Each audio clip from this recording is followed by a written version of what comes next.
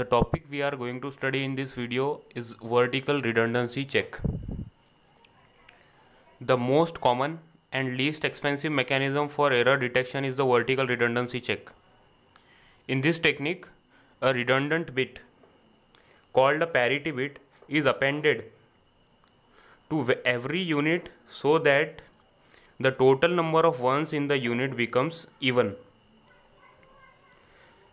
Suppose we want to transmit the binary data unit 1100001. Okay. Adding together the number of ones given us three three ones 1 2 3 an odd number before transmitting we pass the data unit through even parity generator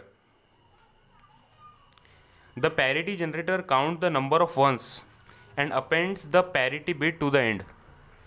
This one is get appended to the this data. The total number of ones is now 4. 1, 2, 3, 4. Even number. The system now transmits the entire expanded unit across the network link. When it reaches its destination, the receiver puts all 8 bits through an even parity checking function. This is even parity checking function. This is receiver. If the receiver sees 111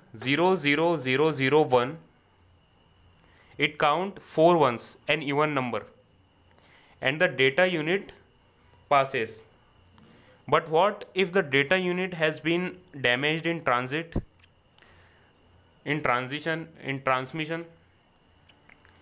What if instead of 111000001 the receiver sees 111000001 and again 01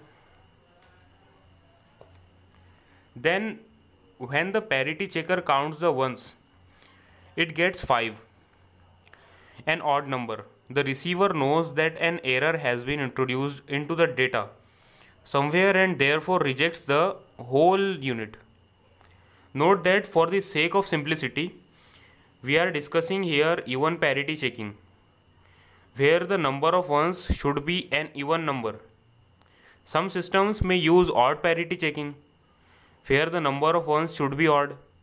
The principle is the same, the calculation is different. So this was all about vertical redundancy check, even parity checking. Okay, if you can, if you are understand, you can subscribe and like the video.